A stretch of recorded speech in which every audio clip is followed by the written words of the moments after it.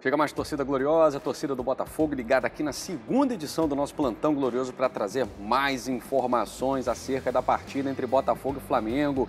Flamengo está escalado para esse jogo contra o Botafogo, mas peraí. Um dá uma escalação, um jornalista muito conhecedor de Flamengo deu uma possível escalação do Flamengo para esse jogo contra o Botafogo. Já outro disse completamente o contrário. Será que quem tem razão? O Botafogo pega o time titular do Flamengo no domingo ou um combinado de jogadores reservas, enfim. Vamos conversar sobre isso para ver quem é que tem razão e o time do Botafogo. Pelo que a gente acompanhou nos treinamentos, meio que o time está mais ou menos escalado. Grande possibilidade de Botafogo vir com duas mudanças para essa partida de domingo. Além, é claro, da aquisição definitiva, propaganda e tudo do Jefinho. O Botafogo tem o Jefinho até o final de 2025 e tem novidade no bid, meus amigos. É, tem craque internacional no bid, hein? Será que você sabe quem é? Eu vou contar para vocês, mas só depois da vinheta.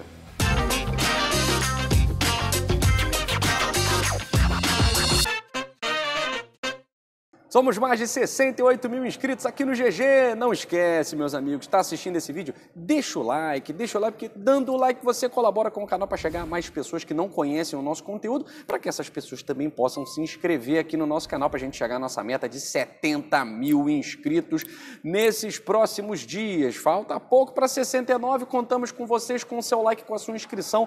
Quer se tornar membro do canal Gigante Glorioso? É só clicar aí, ó, seja membro. E nos siga, é claro, o nosso Instagram Instagram, tá aí também o nosso Twitter, meu e do Michael Martins e a nossa parceira Bet Nacional. A Bet Nacional é a alegria dos brasileiros, porque aqui é a maior cotação do mercado. Você tira o seu din-din, tira na hora por Pix. Aqui você não joga, você faz o jogo. Esse vídeo também é um oferecimento da BJ Sistemas de Incêndios. Alô, Hilton Jones, um abraço para você e até domingo, meu amigo Hilton. Você que é membro do canal Gigante Glorioso, vamos fazer o sorteio do camarote do GG nesse domingão. Além, é claro, da camisa do GG, da caneca do GG, tudo na próxima semana, última semana de agosto, tá certo? Que a gente espera que seja um mês bom com uma vitória no domingo. Agora o Botafogo vai pegar o Flamengo.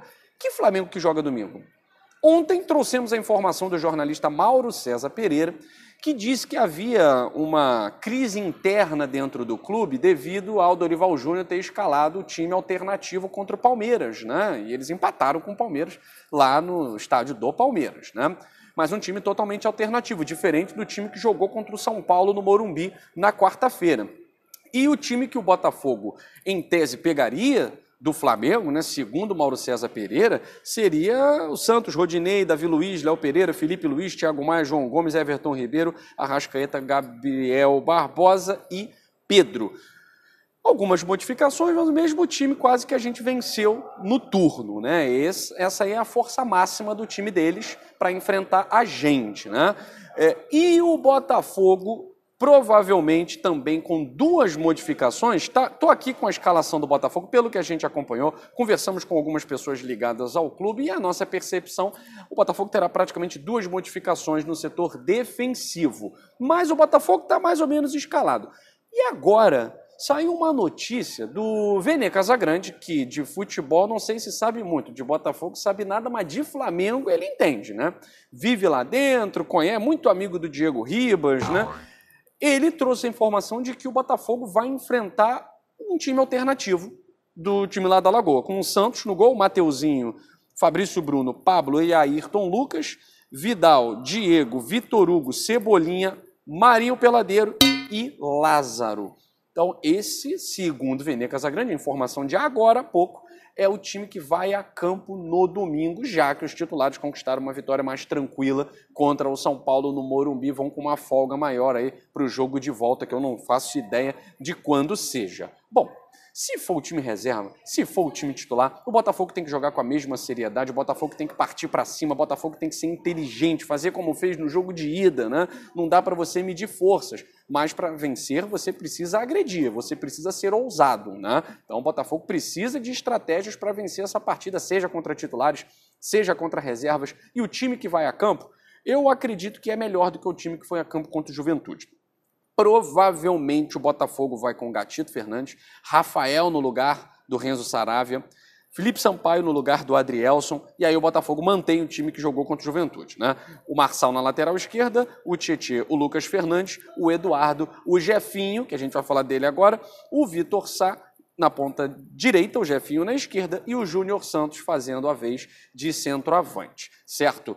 O Jefinho, hoje, o Botafogo anunciou né, a compra do jogador, 60% dos direitos econômicos do atleta de 22 anos, que pertencia ao Resende, 40% ainda pertencem ao Resende, 60% agora dos direitos econômicos pertencem ao Botafogo. O Botafogo fez essa compra por 1,5 milhão de reais e o contrato dele vai até 2025, né? Tem um vídeo, Michael, muito interessante, que é o do Césio Melo falando num podcast com os nossos colegas alvinegros, né? É, o Michael vai colocar o nome do, do canal, e o Durcésio Melo falou assim: para aqueles que são contra a SAF, dá uma olhada no time do Botafogo se não fosse a SAF. Olha isso, galera. Olha, cuidado, hein? Aprecie com moderação para não cair para trás. Eu sempre falo o seguinte: para a gente que reclama da SAF, reclama da posição que a gente está, sem demérito, porque eu gosto de alguns jogadores que eu vou citar, uhum. o nosso time para esse ano, sem a SAF, eu vou escalar para você agora. Bom. Gatito, tá. Daniel Borges, Carly Canu e Hugo. Barreto, Kaique e Chay. Certo. Ataque: Vinícius, Erickson e Diego Gonçalves. Aí você pensa que o Diego Gonçalves está machucado desde que começou o campeonato. Sim. O Erickson se machuca toda hora. O Cag não conseguiu voltar ainda. Kaique se o machucou. Kaique se machucou. E quais são as reservas disso? Fabinho. Teria o Del Piage. Fabinho. O Fabinho, né? O que, veio do, veio, que veio do Ceará. O Ema não, porque o Ema veio com a SAF já. É, é, o, o Breno. O Breno. E aí? É, e é. Mezenga. O Mezenga, o DG, o, o aí, DG o Rafael, o Trio Rafael. É, trio Rafael. O DG e o Jefinho tinham vindo.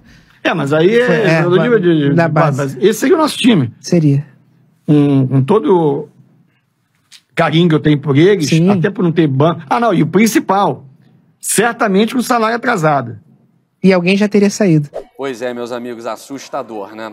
Assustador. Se nós estamos com esse time que eu falei para vocês, com jogadores que vieram do exterior. Na 14ª colocação, com a sexta maior folha da Série A, na 14ª colocação, você imagina com esse time aí que o presidente do Césio Melo falou. Olha, para aqueles que são contra a SAF, essa fala do Dorcésio Melo, ela é peremptória, né? Não tem para onde correr. O Botafogo, por mais que esteja passando por dificuldades nesse ano, que é o primeiro, nem é o primeiro ano ainda, os primeiros meses da Sociedade Anônima do Futebol, sem isso, não sei se haveria Botafogo na Série A. Estaremos aí igual o Juventude, né? Só praticamente antecipando uma nova queda para a Série B. E eu não quero nem pensar numa nova queda para a Série B com esse time que o Botafogo está montando. Muita gente acredita que o cenário, e eu acredito também, que o cenário vai ficar muito difícil de se sustentar se o Botafogo não conquistar vitórias nos próximos dois jogos contra Flamengo ou Fortaleza. Eu acho que desses dois próximos jogos, o Botafogo precisa vencer pelo menos um desses jogos. Precisa conquistar três pontos em um desses jogos. Porque você respira olhando para a zona de rebaixamento e você ganha confiança para as partidas que o Botafogo vai ter em casa. Mais uma vez, o Botafogo vai ter uma boa sequência em casa contra América Mineiro e Curitiba. Será que vamos tropeçar como tropeçamos contra Ceará e Atlético Goianiense? Isso não pode acontecer. Até lá, eu espero que o Tiquinho Soares também já esteja disponível para poder ter, ter mais opção no elenco do Botafogo. Estamos sem o Matheus Nascimento, que foi até desconvocado pela seleção brasileira por questões médicas, e o Erisson é dúvida para a partida contra o Flamengo. E a gente, mais uma vez, contrata, contrata, contrata e conta com apenas um centroavante. Imagina se não tivesse o Júnior Santos aí. Ia ser Vinícius Lopes.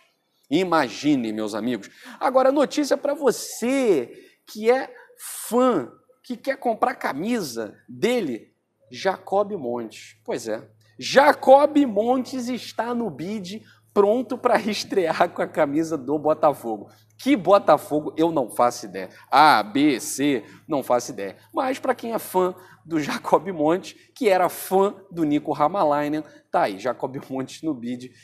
Enfim, não sei para que, que essa informação serve, mas espero que ele tenha utilidade e possa jogar, certo? Gente, fico por aqui. Um grande abraço a todos vocês, convidando todo mundo aí a deixar o like, compartilhar o nosso vídeo, compartilha nas suas redes sociais, tá certo? O canal Gigante Glorioso está muito próximo de bater essa meta e a gente conta com vocês porque é um canal que diariamente, independente da situação, faz notícia do Botafogo para você, torcedor. Nós não somos um canal do Botafogo, não temos relação com o clube. Nossa relação é de diplomacia. A relação é com vocês torcedores do clube que merecem um conteúdo verdadeiro e apaixonado pelo Botafogo. Tá certo? Um grande abraço para todos, saudações alvinegras. Fui.